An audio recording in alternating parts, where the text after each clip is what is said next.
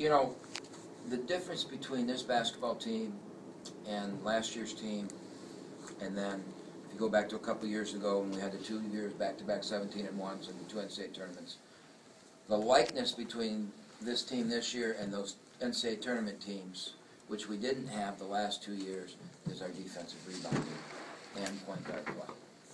We, we're really excited about our point guard play, and we think that we are a really, really good defensive rebounding team.